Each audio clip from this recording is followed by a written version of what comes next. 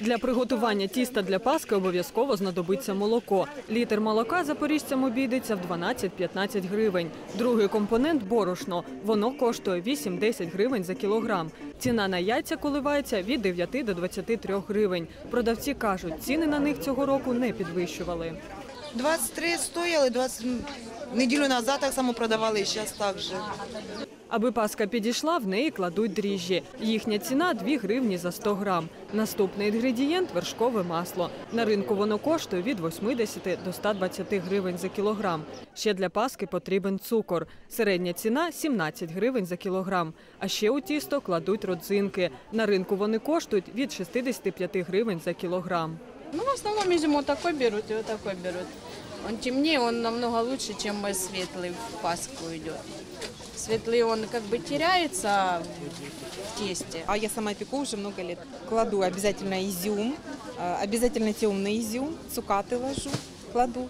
Эм, э, В этом году решила первый раз украсить миндальными хлопьями пасочки. Цукати коштують 15 гривень за 100 грам. Верхівку паски зазвичай прикрашають різнокольоровою посипкою. Вона коштує від 75 копійок до 5 гривень. Якщо ж на паску немає часу, то на ринку можна придбати і готові паски. Ось такі коштують від 20 до 40 гривень. Продавчиня Ніна Дяченко каже, випікала їх за рецептом своєї бабусі. Опара делается часа два-три, чтобы она про- по- пограла, а потом добавляются все следующие э, компоненты. Сахар, э, маслечко, маргаринчик, сметанка туда добавляется, ванилинчик. Белок сбивается э, с этим, э, с пудрой, с белком. И посыпаем вот это посыпочкой. А ось ці пастки коштують 10 гривень за 100 грам. Продавчині розповідають, готували кулячі у спеціально обладнаній пекарні.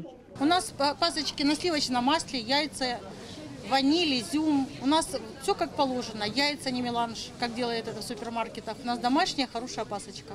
На ринку кажуть, цього року готові паски купують менше. Господині стараються пекти їх вдома. У кожної хазяйки є свій улюблений родинний рецепт та свої улюблені компоненти, які вони обов'язково додають у тісто. Анна Кулькова, Володимир Шот, телеканал ЗЕТ.